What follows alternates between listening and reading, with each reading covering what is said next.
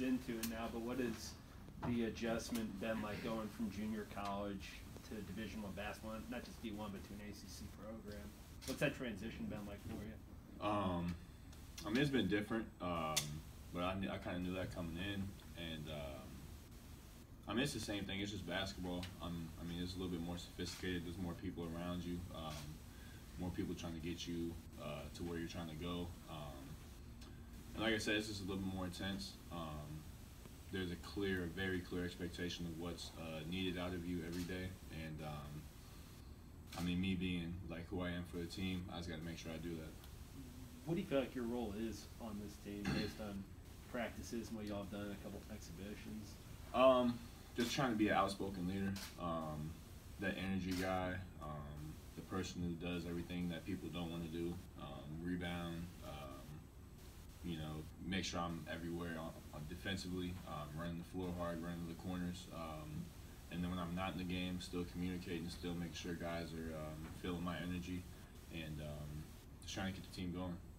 What, what did you like about Pitt, and has it been what you thought? Um, you know, I, I really, it was really more just the opportunity that uh, they presented me with. Um, obviously, the situation was great. You know, seeing what Justin did last year. Um, I mean, it's, it's not necessarily a blueprint, but it's kind of I see what can happen if you do well enough. Um, and it's been everything I've expected, um, a little bit more actually, and um, this has been great. Chris, uh, do you see any similarities, you know, between you and Justin as far as how you play, um, you know, and some of your qualities? Because I mean, I feel like, you know, it's easy to see you all either you're about the same height, you Yeah. all both have a, a really nice bounce off the floor. Do you see any similarities? Um, personally, I haven't spent a lot of time um, watching his game, but just from hearing and the stuff that I did watch, um, I mean, it's glaring similarities. Um, you know, we like to finish around the basket. um, we rebound really aggressively. Um, you know, I don't know what his uh, energy was like for the team or anything like that, but um, you know, maybe we have something like that in common. But I mean, just the obvious stuff that you know, like we're kind of that four-three position, um, and we just play hard as hard as we can. with the way that you attack the basket, you're a guy who can kind of open up. You know, when the floor opens up, you can you can attack it strong. That was a lot of things that Justin did last year. Is there, is there, so you you said you haven't watched a lot of tape, but has there been kind of talk? It's like, hey, we're gonna need you to step up in this area over here, this area here. When you talk to Jeff, or is it kind of just everyone still figuring out what this team is gonna be?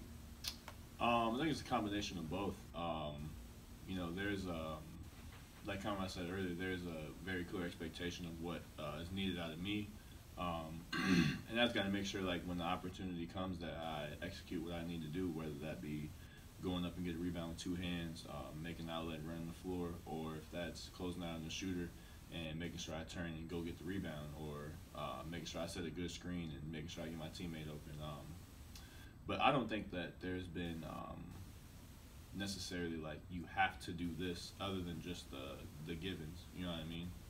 So Everybody has talked a lot about how the COVID impacted sort of everything, and at this level, you know, there's been huge impacts all over. What was it like at, at a junior college where obviously you're not dealing with like programs that have million dollar budgets and things like that? How, how, much do you feel like that impacted what you were able to do and what your team was able to do last year? Um, I mean, obviously it puts uh, some sort of limitations on you. Um, but I mean, the good the good teams and the good programs try not to look at that stuff. Um, I feel like we did a great job of that last year, uh, especially uh, with what we had. We had a lot of um, unforeseen injuries, um, a lot of uh, circumstances that we did not expect to happen going into the season, and uh, you know, we still finished top ten in the country. Um, ranked wise, and I, I feel like we should have been playing in the national tournament, but we ended up uh, not getting the bid. Uh, it was it was an experience, but it it was it was definitely worth it. You know, like I definitely learned a lot about myself and you know what what's needed to be a good basketball player by going through that. You feel like you? Oh, sorry. There's a lot of first-year guys on, on this team. Does that, does that make the transition for you easier? Yeah, because you know you're not the only one going through it. Um, whether that be just you had an off day and you feel like you have nobody to turn to. Um, I have two roommates who are first year guys, so um, you know, whenever I'm going through something or they're going through something, we know we can lean on each other, and obviously, we can lean on the people who have been here um, because they have also gone through the process and have had bad days and have great days. So, um, yeah, it's, it definitely helps out a lot. Who are your roommates? Uh, Daniel and uh, Nate. There'll only be a scrimmage on Monday, but you know, what are you looking forward to most about you know playing your first game? Uh, I mean, kind of what you said, playing my first game here. Um, just make sure I can just go out there and just be athletic as possible. Um, bring the most energy to the team. Just going there with a great mindset. Um, obviously, stay focused. Um, I'm treating this like a game. Um, I feel like the team is as well. Uh, just because it won't go on our record doesn't mean that it won't affect us. Um, and I feel like we just need to understand that and take it with the same approach that we're going to take to November 9th. There's so many guys in your position that's gonna be their first game, and also a lot of guys that won't be their first game, but maybe haven't played that much in the past, like. Yeah. Seems like there's greater than average level of excitement to, to get this, get this thing going. Yeah. Um, I mean, there's a lot of a lot of things that um, that build up to that. I mean, I haven't played in front of more than 30 people in a long time, so that that plays a factor in it. Um, also, um, I'm on a team with new guys, um, so you know, I'm really excited to see what they bring to games and how they approach warm ups and stuff like that, and just it's just a new situation. You know, whenever uh, you're doing the same thing just in a different place, it's always a little bit more fun. Who's the guy in the in practice or when you guys are working that pushes you the most? Like who's the guy that you like that you like either you D up or they D you up and you have to go back and forth with the most? Uh, it's a combination. Um, but for, for for the most part, probably Dan. Um, just because we both kind of took, I don't want to say similar routes, but he was a JUCO kid uh, before he went to Oakland, and um, he's my roommate. And um, I mean, we kind of just we're kind of fighting for the same spot, you know. Um, and we're aware of that, and we and we understand that in order for this team to get better and for ourselves to get better, you know, we kind of have to go past what we're comfortable with. You know what I mean? Whether that be, uh, I know that he's had a couple bad plays. I got to make sure that I try to do my best to make him have another bad play. You know, I'm not saying that in the bad. I'm just saying like play the best defense possible, or or push push the ball in transition, or run harder, seal. You know, just try to make sure that he he understands that the other team isn't going to give him those opportunities, and I have to also understand those things. Talking about your other roommate, uh, you know Nate, the lone freshman on this team. You know he's a 20-year-old kid. He's no uh, no slouch. So what have you seen from Nate so far, and uh, what kind of role do you think he'll play for this team this year? Nate, he um he has the potential to be a lot of things. Um, not just a scorer, not just a shooter. Um, you know, he has great size for um, for what he does, shooting the ball and spacing the floor. Um, you know, he just needs to play with a little bit more of a motor um, in- terms of like aggressiveness and stuff like that. But I think that all comes with just being comfortable. You know, once you stop thinking about what you need to do and what uh, you know you're, you're supposed to do, and you start focused on basketball, I think that's when the the other um, the other factors come into it. But I think he can be a great scorer for us. Um, I think he can defend a lot of different positions. I feel like you know he communicates well, and I'm excited to see.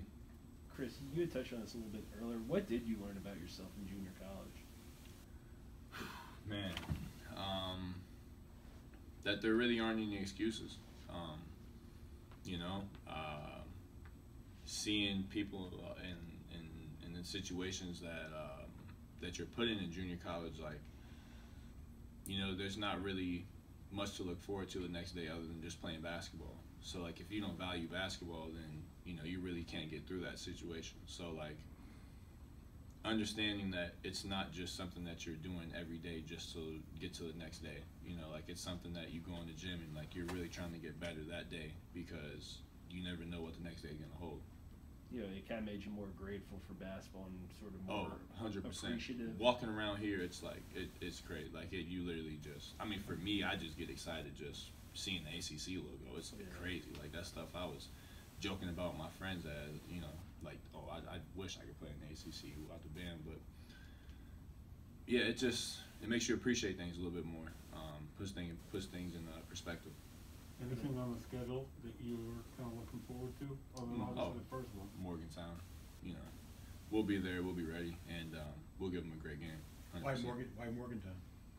It's our first real like challenge. I mean, obviously we have two games before then that are going to give us challenges, but I mean in terms of like obvious like you know matchups, like that's the one that you know you got to put your finger on and make sure like regardless of what happens in those first two games, we got to be ready for that. We can have two great games, we can have two bad games, but that game has to be great. Chris, what kind of impact do you think John Hugley will have on their team? I think we have a tremendous impact. Um, just like um, kind of like how I said with uh, with Nate, you know, he's still growing um, as a basketball player, and I just feel like he has a lot of a lot of different things that he can do to help this team out. Um, and I feel like he does a great job of knowing that he has a lot of things that he can do to help this team out. Um, I just feel like he just has to, you know, continue to bring it every day and um, just keep getting better at, you know, at the at the little things, and you know, success will come, hundred percent. I know you just got here and that your you know student athlete life is extremely busy.